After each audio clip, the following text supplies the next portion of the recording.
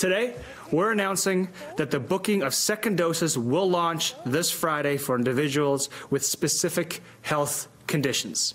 The vaccination task force keeps the shots coming, and it comes with good news for those looking to book their second Pfizer or Moderna vaccination appointments. The conditions include people who are on dialysis, uh, people who have Down syndrome, people who have received or are on the list to receive an organ transplant, people who are currently receiving chemotherapy cancer treatments, and those who are living with HIV. After those with health conditions have booked their appointments or have had an opportunity to, we'll be moving to a system based mainly on when people got their first dose.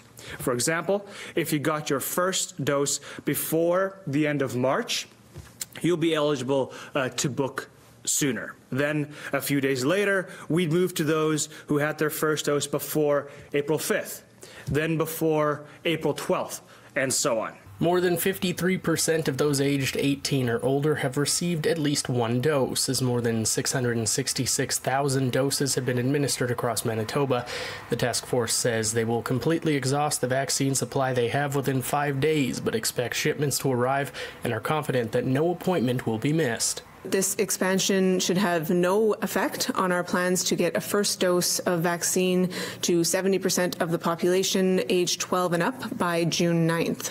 Meanwhile, the Steinbach Supercenter opened on Tuesday, with Gimli scheduled for the 29th and a new site in the Pas opening no later than June 9th. AstraZeneca recipients may have to wait a little longer for second dose appointments, as Dr. Reimer says evidence currently suggests a three month wait before getting a booster garners the best immune response.